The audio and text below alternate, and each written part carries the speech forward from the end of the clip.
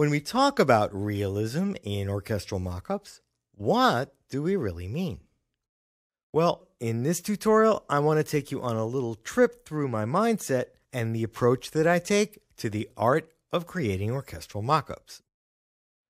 For me, realism is the art, and it's more of a, an art than a science, really.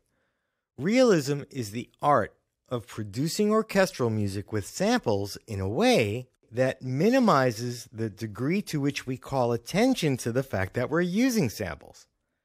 Realism is about creating music in which every part comes across as a masterful performance by the finest instrumentalists, playing with great phrasing and dynamics, and all under the direction of a great conductor. The hallmarks of a great mock up are when every musical line speaks with clarity where every gesture is well defined, and where your musical intentions come across unambiguously. But most importantly, a successful mock up is one where every moment conveys your musical intentions with a convincing, perhaps even compelling sense of musical emotion. And altogether, this is the mindset that I put myself in and which form what I call my prime directive for creating orchestral realizations.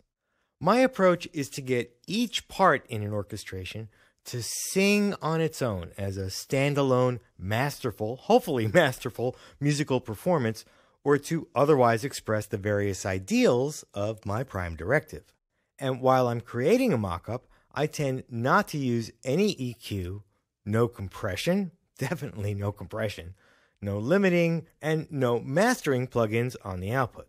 As I said in the previous tutorial, none of those things are going to contribute to a realistic sounding mockup.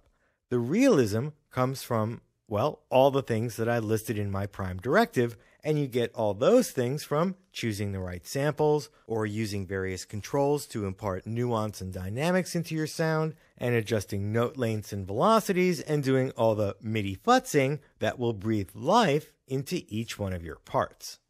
The mockups you're going to hear in this tutorial reflect this approach, and the sounds you'll be hearing are, for the most part, unprocessed and straight out of the box, just as you'd hear them if you were using the same sample libraries.